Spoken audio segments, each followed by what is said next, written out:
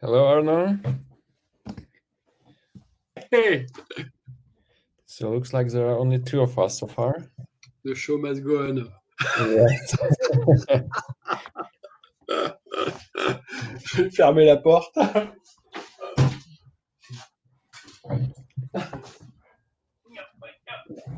J'ai une aide.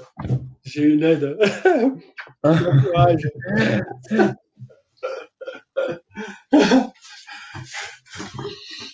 I have. That's my help. I see. That's good. That's good. I'm allergic for cats actually.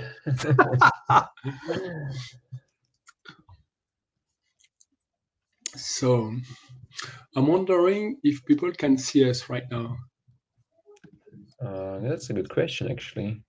Maybe we can ask. We can see you. Good. So, can you hear us?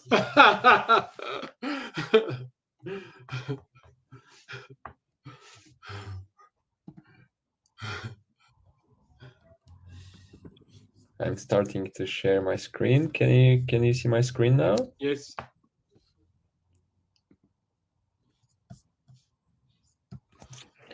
Yeah. So I, I think we I think I think we can wait for a couple of minutes, right? Yes. We have three minutes. Mm-hmm. Yeah, looks like we're all set.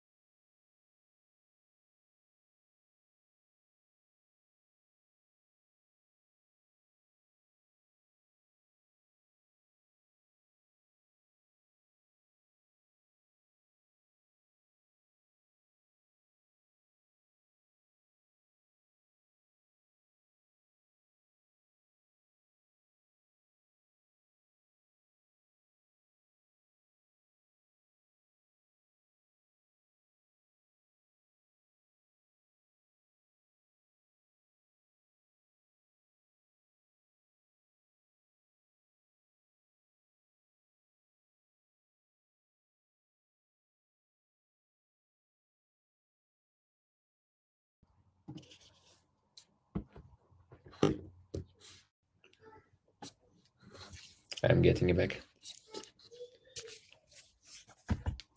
Good afternoon.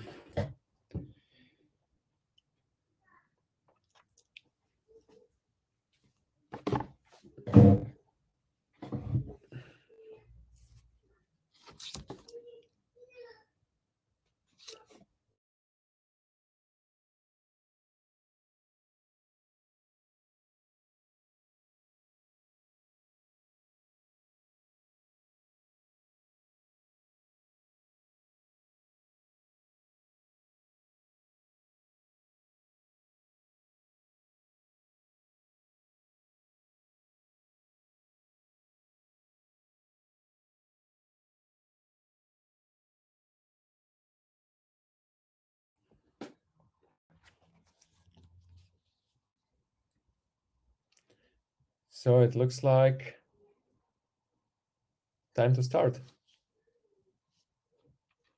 Arno, you are on mute so far, just, just in case, just in case.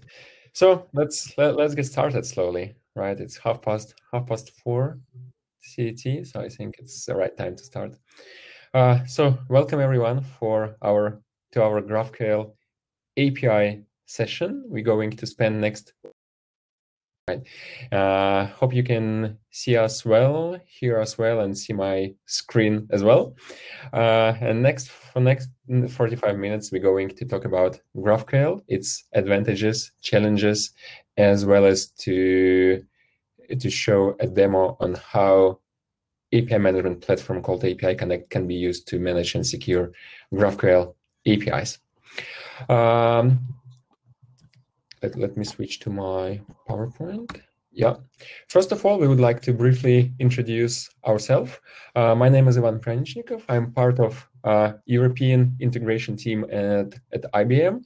Uh, so I'm working with our key clients across across Europe and help, helping them to modernize their to build, design, and modernize their integration uh, architectures. And I'm primarily focused on API management, so working a lot around and with API management platforms and, we, and with API management uh, pro projects.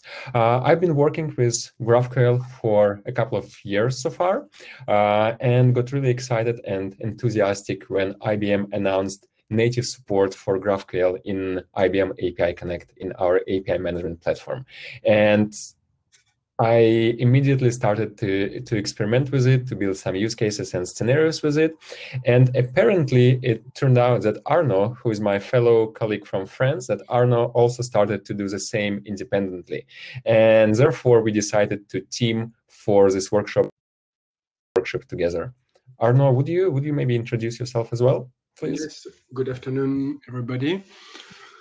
I'm Arnauld Desprets. I'm interested in security, DataPower, API Connect, and GraphQL, as you can see on the icon.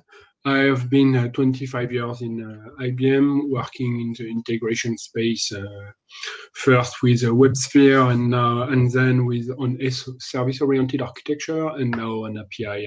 This is a normal journey and I enjoy every single step of it. So you can start, uh, Ivan. Thank you. Thank you, Arna.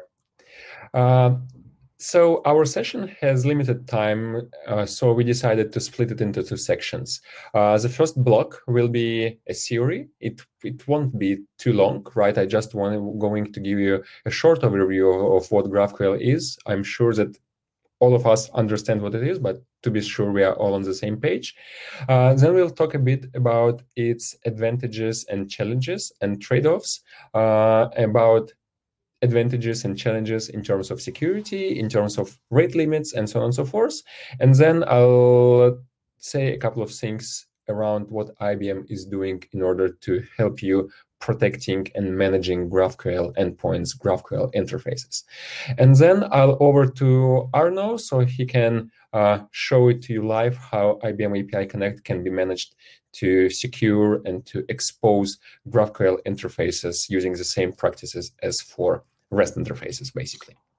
And then I hope we have some time for the Q&A after the, the demonstration. Uh, so let me start from a short recap of what GraphQL is. Basically, GraphQL is a query language for APIs. It was developed around mm, around eight years ago in Facebook the time flies actually. Uh, eight years ago in, in in in facebook and it's getting quite popular. Uh, two years ago a bit more than two years ago uh, the linux foundation has announced the graphql foundation initiative. And basically graphql gives clients the power to ask for exactly what they need from the server and use and instead of traditional REST calls, to use queries to get all the required data in at once, instead of using tens or in certain cases, maybe even hundreds or thousands of IBM calls.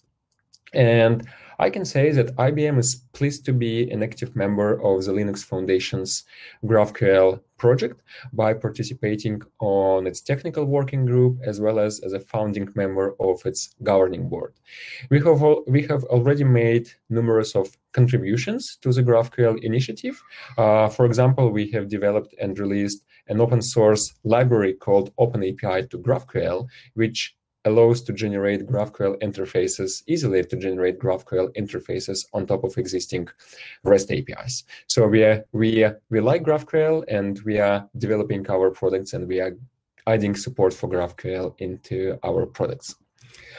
Uh, and we are doing it because we believe that GraphQL is a great tool and is a great thing. And by the way, this tool is getting more and more popular these days. Uh, if we go to landscape.graphql.org, we will see lots of, let me say, modern or digital digital companies or startups using GraphQL already. However, from what I see working with IBM clients across Europe and working with IBM clients from different industries, from different markets across Europe, traditional companies from traditional industries such as banks, such as retailers, such as telcos and others, they are also starting to adopt GraphQL quite actively these days. So they're starting to invest and they're starting to, to do some tests, POCs, pilots around GraphQL these days. And it kind of proves by that fact that if we go to the GitHub to the reference implement, implementation uh, of GraphQL, we can see that number of NPM downloads is nearly doubling year over year. So I took these numbers today, and for the week of December 10th to 16, uh, 2019, it has something around 2.3 million downloads. And as of today, as I, again, just to repeat, I took these numbers a bit, a couple of hours back today. Uh, as of today, it has more than 4.5 million downloads as of week from December 1 to December 7th. So it's definitely getting popular. But you may want to ask a question, why is GraphQL getting popular? Uh, I believe it's happening for several reasons, actually. Uh, I believe it's happening because GraphQL gives uh, certain advantages to, to clients, right, and certain advantages to API consumers and to API providers. Uh, first of all, it allows to reduce number of requests as well as to reduce the network traffic. Uh, it allows clients to get from the server uh, just what they need easier and actually faster.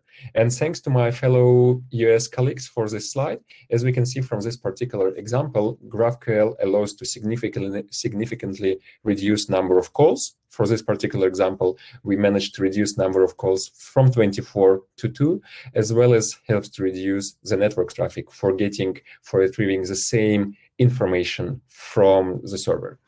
So it gives certain advantages in terms of performance, in terms of speed, and in terms of usability uh, for the end clients. However, as they say, with great power comes great responsibility, and GraphQL is not an exception in this regard. Along with many advantages, it also brings and introduces new trade-offs and challenges. And if we want to use GraphQL effectively in our companies, we definitely have to learn how to work with GraphQL properly, how to mitigate risks that GraphQL brings and how to use its advantage properly and how to avoid its disadvantage properly, how to mitigate risks of, of the disadvantages that GraphQL uh, introduce. Uh, so let's have a quick look on some good and bad sides of, of GraphQL. Advantages are on the left, challenges are on the right, as you probably understand. So GraphQL, as mentioned, GraphQL is very powerful in terms of what I can retrieve using just single uh, request to the server. Uh, it's much more powerful than a simple REST or API call. Uh, for example, one GraphQL query can easily have the server-side cost, the server-side effect, similar to 1,000 or 10,000 of regular uh, REST API calls. Uh, GraphQL interface uh, is a single endpoint where the body, not the operation, where the body determines the action and the body determines how the um, server would process the query. Uh, it can be a, a read query where you are getting, for example, profile information from the server, or it can be a create query or mutation in terms of GraphQL that allows us to modify data in your system, that allows us to write something new, to write new data to your system. And hence, considering GraphQL query can be quite different in terms of complexity, right?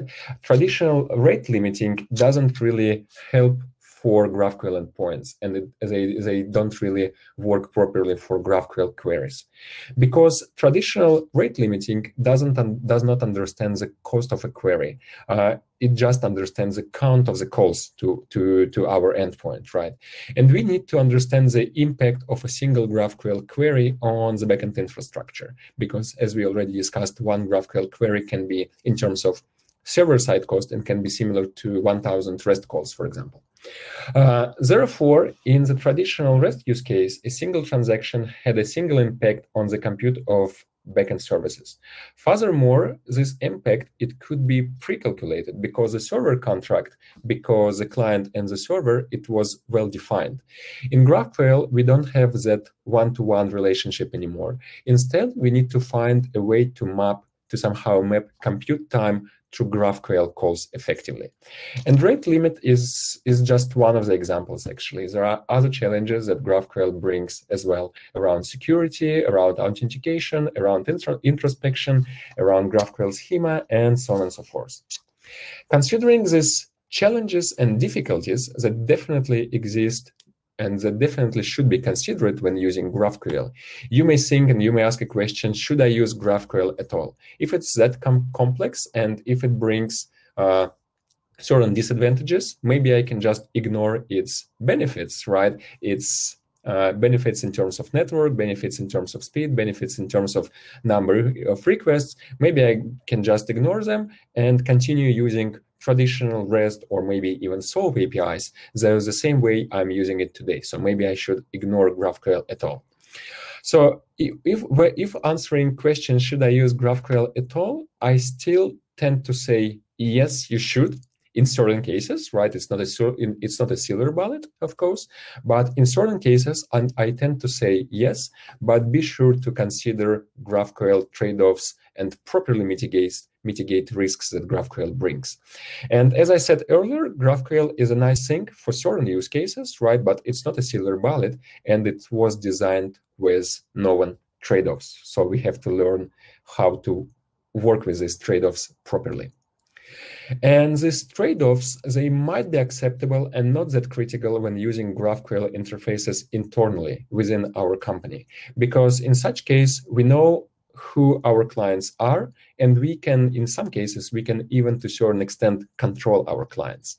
But imagine what happens once we start exposing GraphQL endpoints, GraphQL interfaces externally. The number of API consumers is starting to grow, and we don't know our consumers anymore, neither we can control them anymore, right? We, we, we can't influence them anymore. And that's why proper security, proper rate limiting, and proper yeah proper security and proper rate limiting for GraphQL endpoints is getting a cornerstone when starting to expose GraphQL interfaces outside of the organization.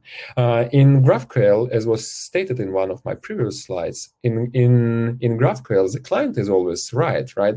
But for sure, we don't want those clients to downfall or to to, to break our backends, even if they're right.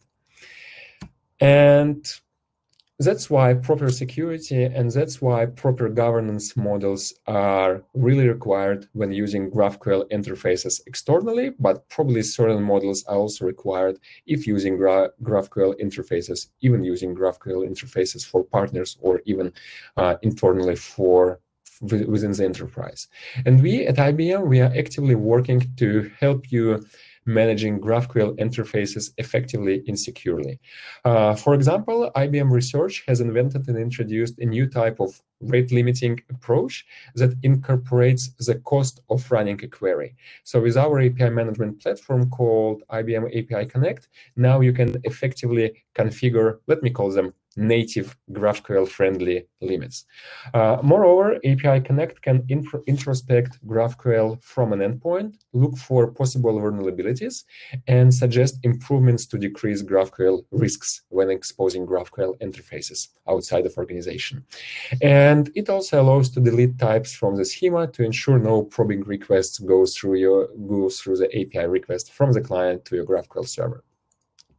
But again, as I say, um, picture worth a thousand of words. So let me now over to Arno so that so that he can show GraphQL API management live based on IBM API Connect.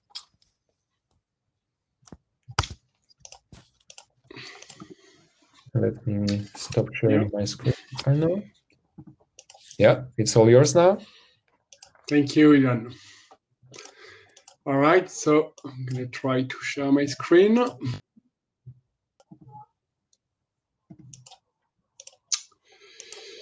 I have a small problem. Okay, good. Good, good, good. So let's start with some uh, sample. So here, what I'm going to do is I'm going to take the endpoint. Can you see my screen correctly? You see my uh, web browser empty right now? It's good? So I'm going to go to a GraphQL endpoint. This is a, an implementation of a GraphQL API. And this API is uh, in fact uh, running in an Apollo implementation. But that's not our main concern right now. But let's go there.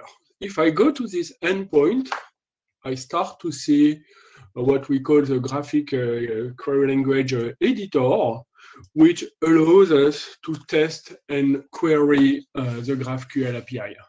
The very nice thing about uh, Graph GraphQL is that we have all the documentation available and we can test it very easily.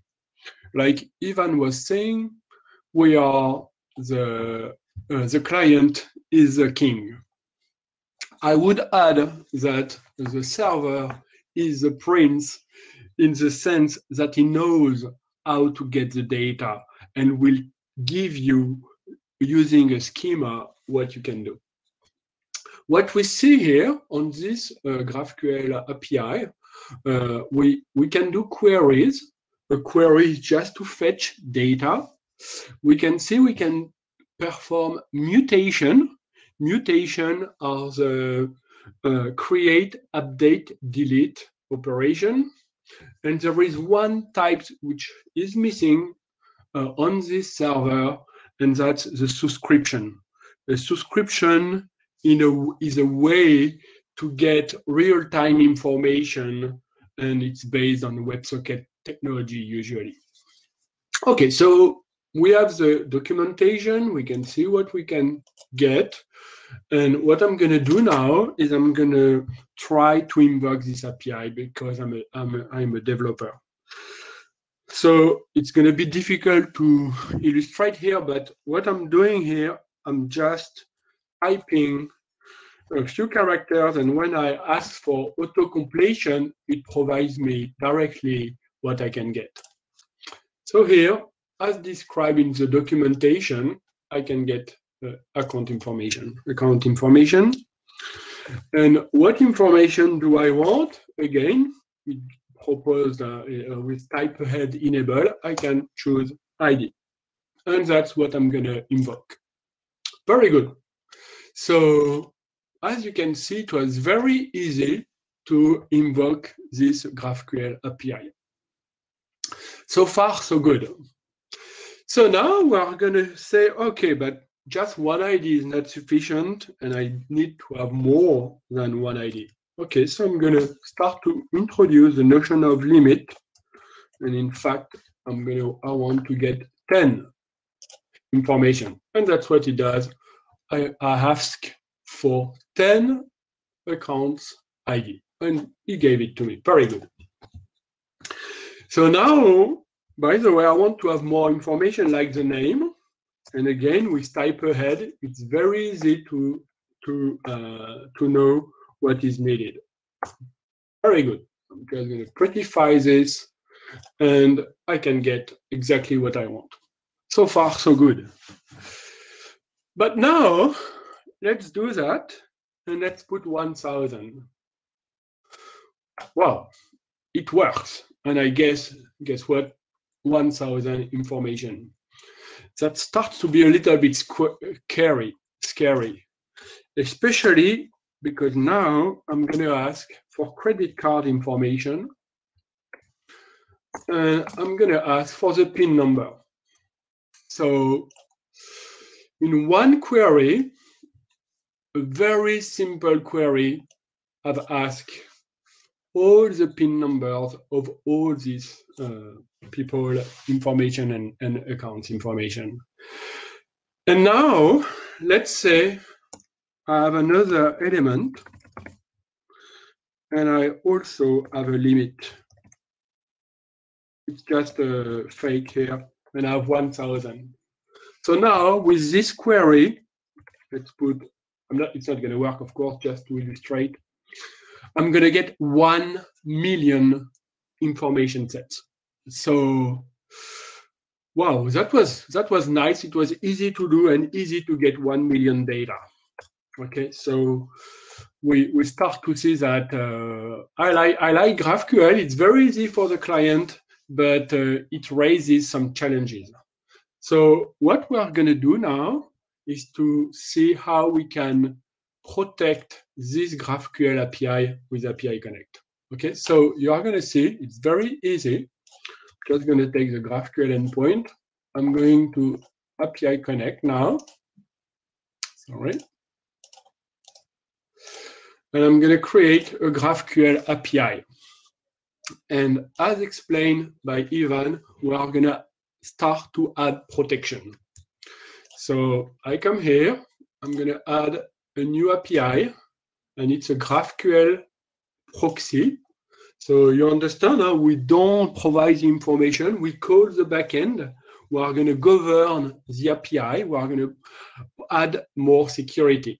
So I'm going to call it GraphQL account API. And I'm going to put the GraphQL endpoint. And because this is related to account information, I'm going to call the schema name accounts. So now I have a screen which provides me a few information. So I don't, I'm going to make it bigger. So here I can see there are some warnings and we will come back to that. So the schema provided by the backend contains some information which API Connect raised some issues. And also we see a few choices in order to decide if I want to enable the GraphQL editor, if I want to start and expose introspection, and also if I want to expose a new endpoint, which is a slash cost, which allow to uh, find the cost of a query so we can better protect the backend and protect the data provided by the GraphQL uh, API server. So here, I'm just going to click next, and we will come back to that. So I'm done. I have this new API, and we're, we are going to review this API. So as usual, we find the normal uh, settings uh, based on the OpenAPI specification, the documentation of the API, uh, the security, the path of the API. And you can see here, unlike REST API, where usually we have lots of endpoint and lots of verb, I just have two verbs here, two operation, the GraphQL, because in fact, we are going to use the schema and the payload uh, to get what we want. So I'm not going to go further on this screen. This is a normal API uh, definition uh, required. As with any API in API Connect, you can see the, um, the source of the API, and we see here that we have Open API v2, and very soon we are going to have API v3 just uh, as a side information. So what's happened when we um, created this API is that API Connect started to implement a complete uh, flow with several operation and several processing based on the API. What you have to remember is that here, uh, why we did that, it's because we want to provide uh, further um, configuration if needed.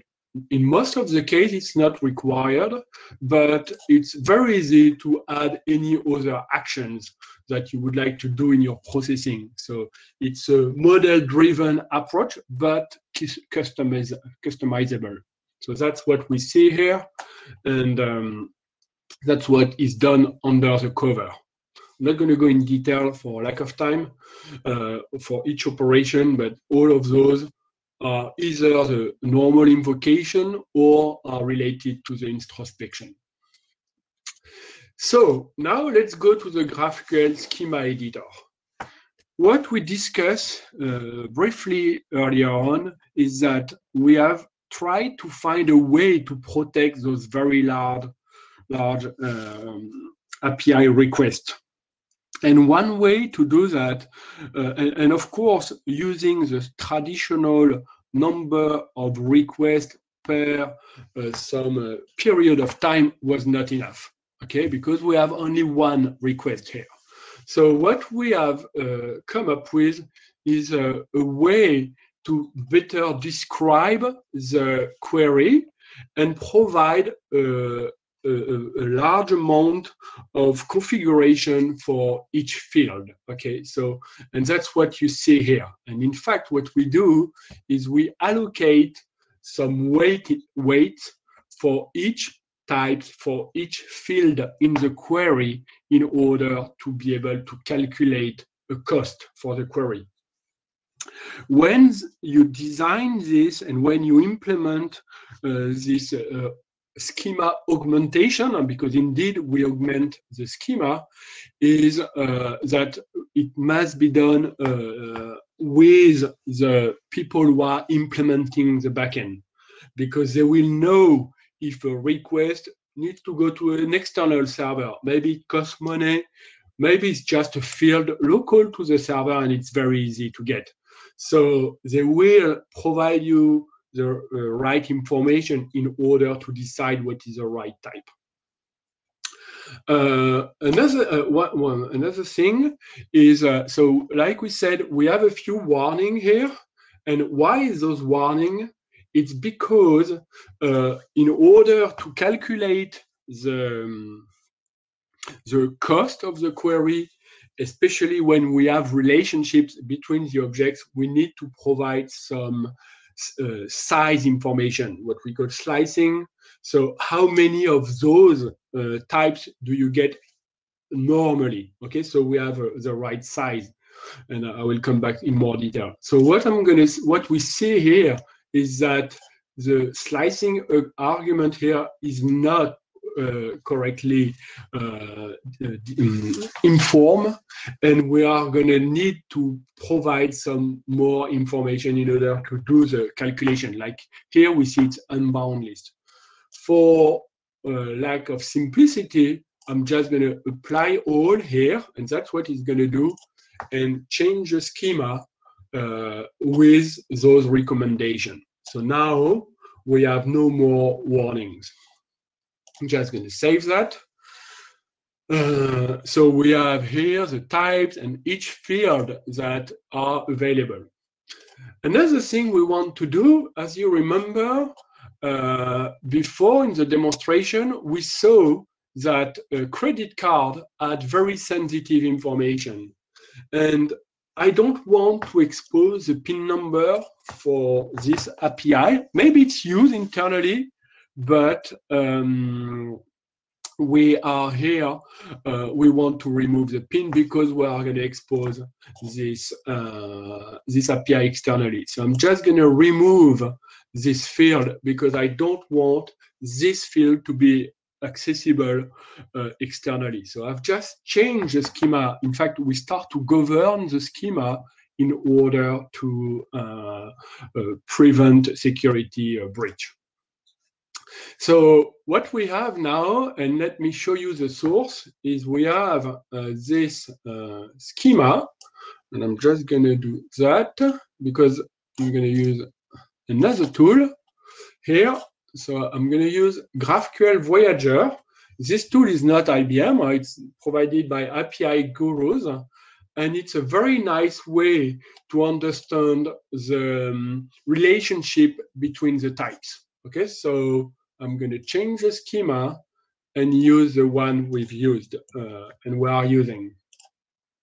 Okay, so as you can see here, uh, and the sample I was uh, doing using earlier on, we see the, the accounts type, we have the, the, the, table uh, of account, the list of the account specification and all the other types. So that's what we have been using so far.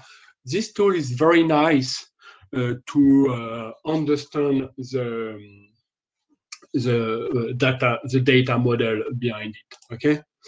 Uh, of course, it can be uh, much more uh, complex. Okay, I'm going to use another one here, and uh, but it's a good idea to understand how the types are uh, related. You see, GitHub here is an interesting one, and we are not going to go through each detail, but you can see the very uh, effectiveness of these tools. Anyway, back to API Connect here. So we have done two things so far. We have provided additional metadata in order to calculate the cost. We have removed the PIN number information because we don't want to expose it.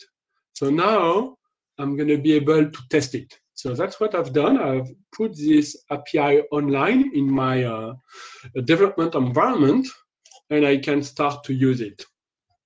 So here we found again the GraphQL, uh, GraphQL editor. And as before, I can start to query uh, the data from uh, API Connect. So I'm going to do the same, uh, same query, and I can get information. Let me uh, make sure I've not done that the you would see my face with a big surprise here. Um, that's a nice thing with uh, live demo. So let me try this thing.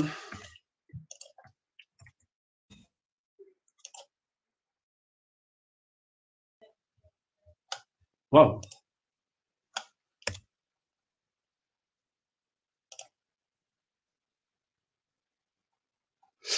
Uh, okay. So let me try to understand why. So it is online.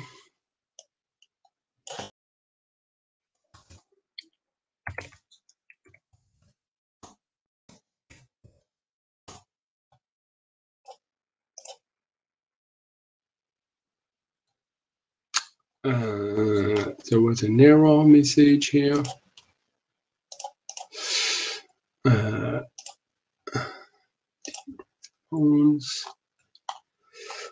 okay.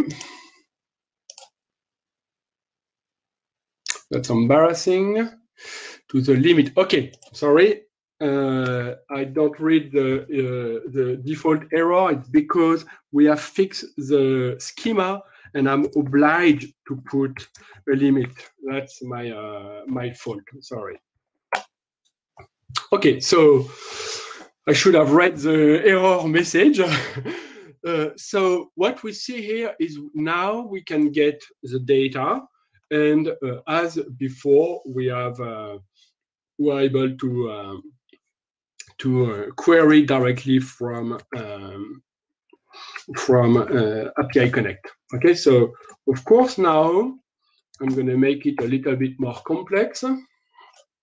Okay, so as before, I can add uh, stuff. So so far we have uh, a message. We have the API exposed uh, by API Connect. We have removed the field. We know the calculation. We can get the calculation and the cost of each query. Okay, so what I'm going to do now is I'm going to start to protect this API. And the way I do that, it's, I'm going to add plan. Okay, and that's what I do here. So the plan is the quota I am going to add in order to uh, protect my API. Here, this is a product. I'm going to add this API and I'm going to pro provide a few information about the API, like the visibility. And now I can uh, get this product and show you plans. Okay, so as I said, a plan is a protection based on uh, GraphQL information. Here, I can I can provide limit on how I want to uh, how many types I want to get per hour. So you see, it's not anymore the number of requests, but the, the cost in order in, in at the end of the day, the cost of invocation of the GraphQL API in order to protect it. Okay, so here I have put a plan where I just want to really limit the number of calls and limit the size to protect uh, this API. Okay, so I'm just going to put in minutes so we can have something meaningful. And, and that's it. Okay, so this API now has a plan, uh, a product and a plan, and I'm going to deploy this product in uh, another environment. Okay, so I, I publish this uh, product in a, a, integration environment, and I can now uh, check if it's correctly protected. Okay, so I'm going to go to the uh, portal. All right, I'm going to go to the portal and subscribe to the API and start to use it. So here I'm, I have my consumer, API consumer hat. I see this product, which is a, a, GraphQL product. I'm going to subscribe to this API with this application. And uh, I can test it directly here. And because we've put a very low number of of uh, request and cost. Again, we find the GraphQL editor. put limit this time, that makes the same mistake. Get the ID. And okay, and as you can see here, straight away, it's wrong because I've put 10. You remember we've put 10. Maybe I should have tried with one first. uh, but you see here, I cannot anymore require 10, uh, 1000 because I've put a very low limit. And what I want to show, and I will finish for, uh, with that for the question, let's go back to the uh, integration catalog where I can see my uh, analytics. So here, we have this API, we have remove the pin, we have uh, fixed some limit, we have enforced the cost. So what I would like to show you is on how we understand all this information and all this information is also available in the for in the analytics part of the product so here I see straight away, this is a elastic stack as you may have recognized, the 429, which is too many requests, and I can get all this information regarding GraphQL. Okay, so why it's, why it's wrong, what, what is the field cost, the type cost, and um, what, what make it uh, fail at the end of the, uh, of the day. Okay, so we have a full um, information in order to understand what's happened and we have protected the API. So I'm done because we have five more minutes for question. I hope you enjoy this demo and sorry for the limit. Uh, too much, too much protection. It works, and uh, um, we are going to open for the question now.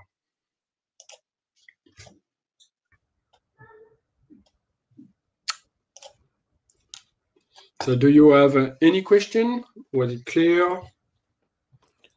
Thanks, Arnauld. I see, I see there was a question whether queries are pageables with a limit head. Yeah, I can answer? Yeah. Okay. Uh, uh, uh, this is a very good question. Why? Because indeed, the query language, the GraphQL specification, thought very well about defining how we can paginate. And so there is this notion of offset and also this notion of um, of cursor okay? And what is very interesting with uh, the graphql specification is that they really make a lot of effort to abstract this notion of, uh, of offset and relationship and control the, the number of items not only for one table, let's say, but also for the relationships and the child of a child, for example, because it, it, it can be quite tricky to define all this.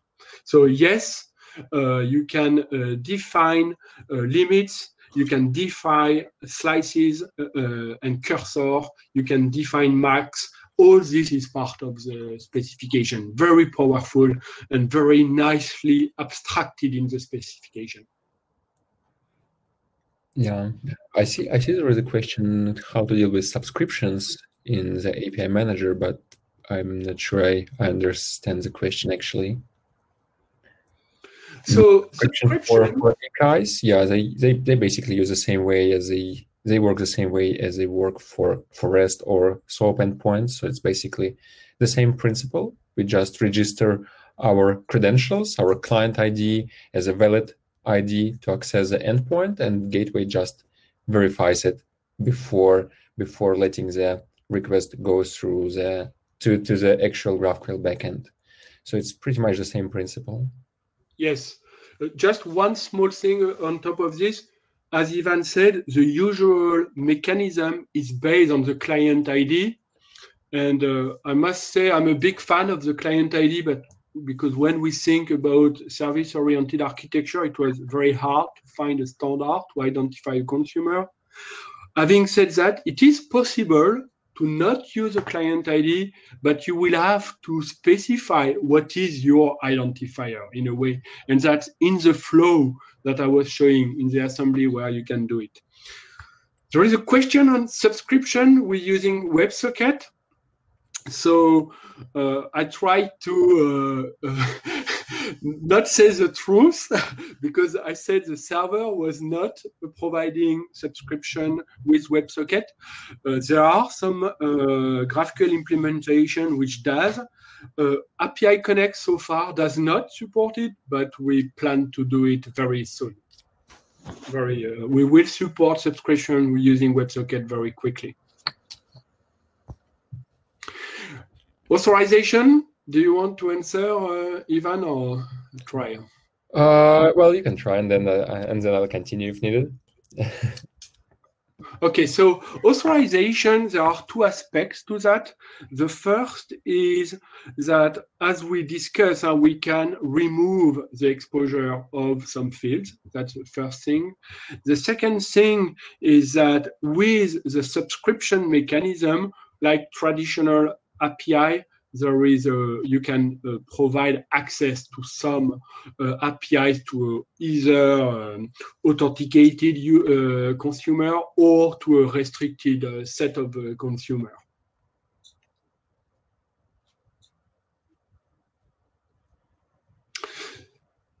I think for the last question, uh, metadata like total, self-link, next page, we have answered it. So the, the, the GraphQL specification are defining the notion of offset and the notion of cursor. And uh, if you want to see that, that's where you have to go. It, you, you will see it's all possible. And um, that's a very powerful and very nice thing that the specs uh, did cover. Yeah, but uh, but it's it's it's covered by by the specification actually. And we we, we yes. can conform to it basically. Yeah. Yes.